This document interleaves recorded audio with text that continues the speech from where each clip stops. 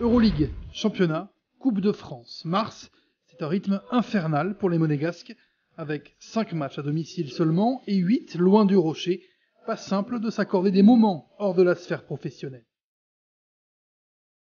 Tout le monde sait, il regarde à peu près le, calendrier en avance.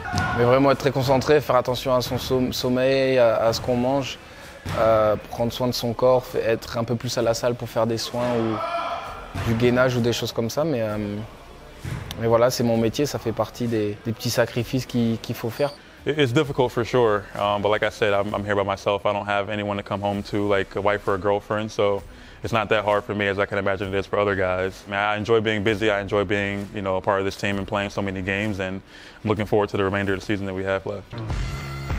Invaincu depuis le début du mois, les Monégasques semblent bien concentrés à la tâche.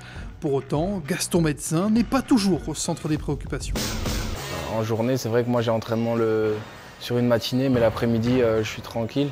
Je profite du soleil, de nourriture. J'ai mon chien à promener, je fais des cours euh, de dressage en ce moment, donc euh, plein de trucs à faire. Because of our schedule, uh, I like to spend my off day sleeping. Um, I like to rest a lot. Um, but no, I, I, enjoy going to restaurants. I think, I think Monaco has some of the best restaurants I've ever had. I'm really into photography, so I, I like walking around with my camera and, and, taking taking photos, and you know that's something I, I like doing. It keeps me busy um, when I'm not sleeping. But I, I, do like what I what I have here. Uh, it's enough for me.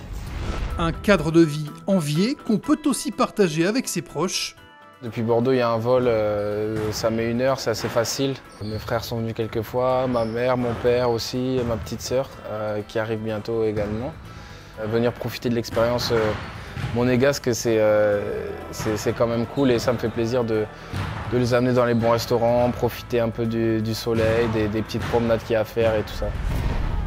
Ou qui rassure ceux qui auraient le mal du pays. Um, this is my third year in Europe. I think early on in my career, a little bit, yeah. I remember, I recall my, my first week in Israel.